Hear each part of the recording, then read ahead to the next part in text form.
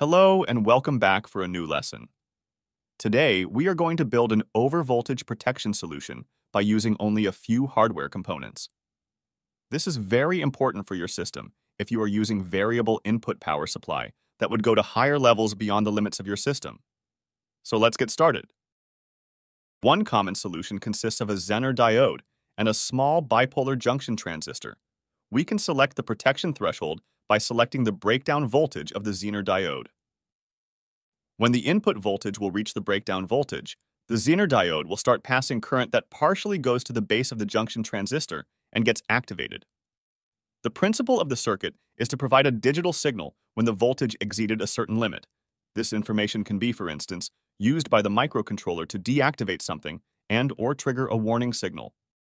Let's simulate this example using LT-Spice. The circuit is already drafted here to save your time. Here we are using a variable input power supply to check the behavior of the circuit between 0 volt and 16 volts. In this example, I selected the protection threshold of 12 volts.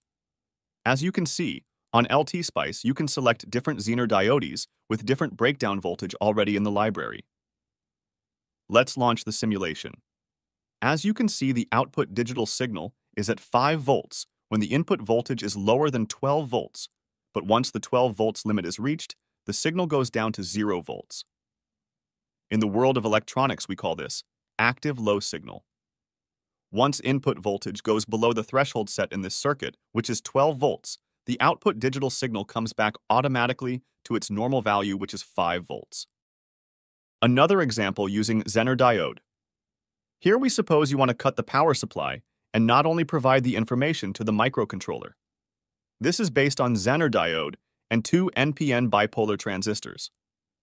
In this example, the threshold is also set to 12 volts.